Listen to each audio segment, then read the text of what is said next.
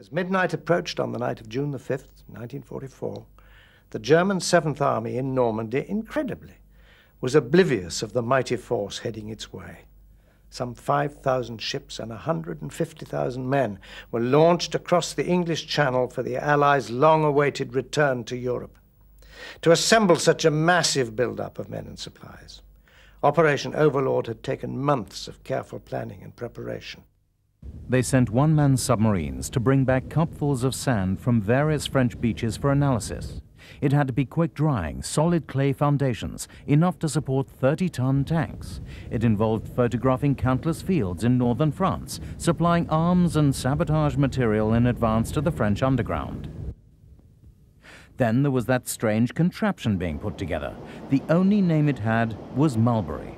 It was vital, too, to know all about the French tides and train men to negotiate those tides with landing craft, wearing German sea power down, detailed study of the weather patterns along the Normandy coast, miles of wire netting for the beaches. A 20-mile pipeline would be needed underwater to supply 7,000 tons of petrol every day triple inoculations for everyone, new ships pouring from the stocks, old ships adapted, listening endlessly to German radio messages for the latest intelligence. That was just the start.